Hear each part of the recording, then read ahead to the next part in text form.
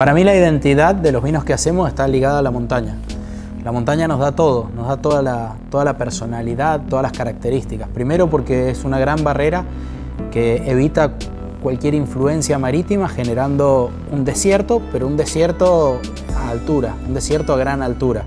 Entonces clima, agua y suelo vienen de la cordillera de los Andes. Nuestros vinos son vinos de montaña, vinos de cordillera. La, la identidad está determinada por esa por esa belleza que tenemos al oeste de Mendoza y que le da no solo la singularidad al paisaje, sino la singularidad a nuestros vinos.